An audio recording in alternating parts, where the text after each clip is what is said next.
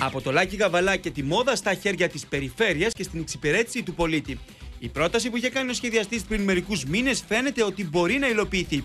Ο Λάκη Γαβαλά, από την πρώτη στιγμή που αντιμετώπισε προβλήματα με το ελληνικό δημόσιο, πρότεινε να παραχωρήσει την περιουσία του για την εξόφληση των αφιλών του προς το ελληνικό κράτος. Ο σχεδιαστής είχε προτείνει κτίρια τα οποία του ανήκουν να γίνουν σχολεία, ακόμα και νοσοκομείο. Σε επιστολή του, μάλιστα, τον Οκτώβριο του 2012 ανέφερε.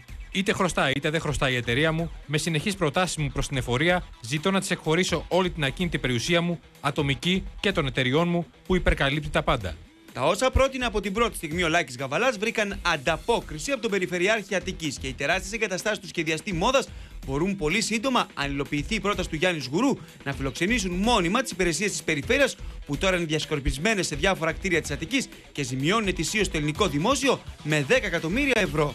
Εμείς πήγαμε και το είδαμε. Και μα καλύπτει πλήρως εμάς για να καλύψουν πολλές υπηρεσίες. Την καινοτόμο πρόταση εξαγοράς των εγκαταστάσεων που βασίστηκε στην ιδέα του σχεδιαστή, όπως αποκαλύπτει η εφημερίδα Τα Νέα, έκανε ο Περιφερειάρχης Αττικής στη συνάντηση που είχε με τον Υπουργό Οικονομικών. Αν λυθεί το θέμα μέσα του Υπουργείου Οικονομικών, ο οποίος το βλέπει θετικά, ε, αυτοί θα πάρουν λεφτά από εμάς μέσα από την νόμιμη διαδικασία η οποία θα γίνει, θα πληρώσουν τις τάρτε και ό,τι μήνε το βάλουν στο ταμείο τους.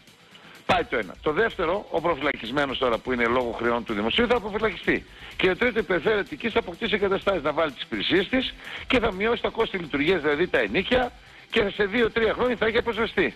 Το κτίριο εμβαδού πάνω από 20.000 τετραγωνικά βρίσκεται σε οικόπεδο 30.000 τετραγωνικών στην Κάτζα και μπορεί να εξυπηρετήσει τις ανάγκες της περιφέρειας. Απαραίτητη προπόθεση να γίνει άρση της δίμευσης που έχει επιβλεφθεί, ενώ από τα χρήματα εκτός από την εφορία θα πληρωθούν και οι οφειλές του σχεδιαστή σε ασφαλιστικά ταμεία.